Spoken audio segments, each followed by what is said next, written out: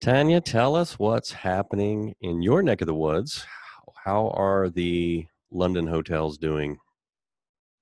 Hi, Jason. Um, so, in the UK at the moment, we are coming out of um, lockdown. Uh, we're in the first phase at the moment. Um, so, that means we're allowed to go out and exercise more often. Um, hopefully next week um, that will be relaxed a little bit more. So things like open markets and a few shops will start to reopen, and certain schools will reopen for some age categories. Um, but what we're really, really looking forward to is phase three, which is happening hopefully, fingers crossed, starting from the 4th of July. And that's when hospitality will start to reopen. So, hotels, restaurants, from the 4th of July in the UK. So everybody at the moment is preparing for that. Um, unfortunately, in Ireland, it's slightly later. Um, so that's going to be from the 21st of July. But again, preparations are being made to open the doors again. By preparations, are hotels, are they starting to bring furloughed staff back? Um, what are they doing? Yeah, so what we've seen this week, um, so we had the bank holiday uh, yesterday. From today, people have started to come back off of furlough.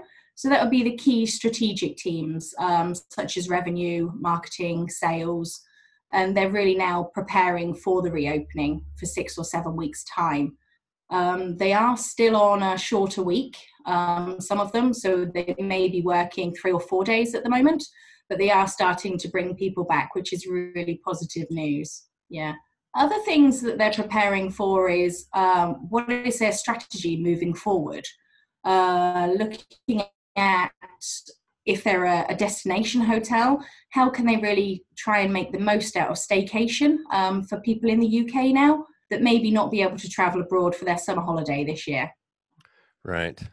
So how how are the hoteliers that you're talking to? I mean, are they comfortable? Um, you know, I'm in Texas, and Texas started to open up about a week ago. We had a client open up at the beach over the weekend after being closed for 60 days. We went down.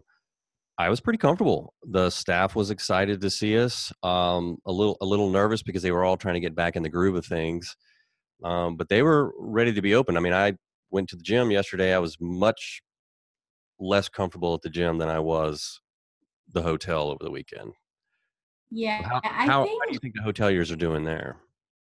The hoteliers are ready. You know, they have been putting measures in place and they've been looking at this and analysing this for a good, you know, eight nine weeks now.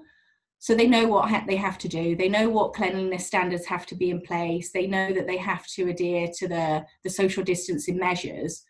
For us, it's really key for for the general public to want to travel again. I think there is some fear there, um, but that's really up to the hotels to communicate well with their guests or potential guests so that they feel comfortable in traveling. But the hotels are ready, yeah, and yeah, we want you, them to reopen. Do you see the right communication going on? Emails?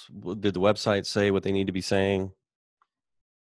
Sometimes, um, but unfortunately, not often enough. Um, we you see it all the time where hotels don't update their websites. Some of them you know they don't know how to and if they have furloughed their team members that, that normally look after that i think now we will start seeing the change. But the hotels that are on top of this will benefit the most because people can only look online at the moment. They're not ringing up they're not talking to anybody they're only using the website. So that really is their shop front i mean it's now more than ever that that's very very important very good. Hey, thanks for joining me. You're very much welcome. Speak to you soon.